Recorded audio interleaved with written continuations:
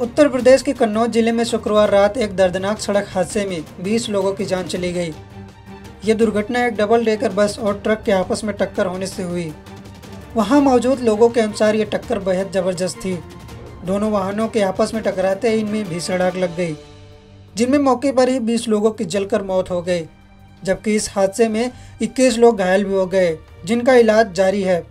इस घटना के बाद से यूपी पुलिस जाँच में लग गई है। वहीं शवों की पहचान के लिए उनका डीएनए टेस्ट कराया जाएगा इस घटना को लेकर प्रधानमंत्री नरेंद्र मोदी ने भी संवेदना व्यक्त की है उन्होंने एक ट्वीट कर कहा कि उत्तर प्रदेश के कन्नौज में हुए भीषण सड़क हादसे के बारे में जानकर अत्यंत दुख पहुँचा है इस दुर्घटना में कई लोगों को अपनी जान गंवानी पड़ी है मैं मृतकों के परिजनों के प्रति अपनी संवेदनाएँ प्रकट करता हूँ। साथ ही घायलों के शीघ्र स्वस्थ होने की कामना करता हूँ। वहीं यूपी के मुख्यमंत्री योगी आदित्यनाथ ने इस हादसे में मृतकों के परिजनों को दो दो लाख और घायलों को पचास पचास हज़ार देने की घोषणा की है। साथ ही सीएम ने मृतकों के परिजनों के प्रति संवेदनाएँ भी व्यक्त की है।